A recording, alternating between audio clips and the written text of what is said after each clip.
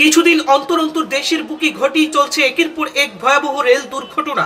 এবার পশ্চিমবাংলার উত্তরবঙ্গে ভয়াবহ ট্রেন দুর্ঘটনায় লাইনচ্যুত হওয়ায় গৌহাটিগামী বিকানের এক্সপ্রেসের দশটি বগি। ঘটনাটি ঘটে ময়নাগুড়িতে। এখনও পর্যন্ত চল্লিশ জনের মৃত্যুর খবর পাওয়া গেছে। পনেরো জনের অবস্থা গুরুতর আহত হয়েছেন প্রচুর সংখ্যক রেলযাত্রী রেলযাত্রীদের সুরক্ষা এবার প্রশ্নচিহ্নের মুখে। এদিকে রেল দুর্ঘটনার খবর পেয়ে ঘটনাস্থলে ছুটে যান রেলের আধিকারিক ও উদ্ধার কর্মীরা। উদ্ধার কাজে গ্যাস কাটার ব্যবহার করা হচ্ছে। খবর পাওয়া গিয়েছে প্রায় পাঁচ শতাধিক লোক ছিল ওই দশ বগিতে। ঘটনাকে ঘিরে ইতিমধ্যেই দুটি মেডিকেল কলেজ রেডি রাখা হয়েছে।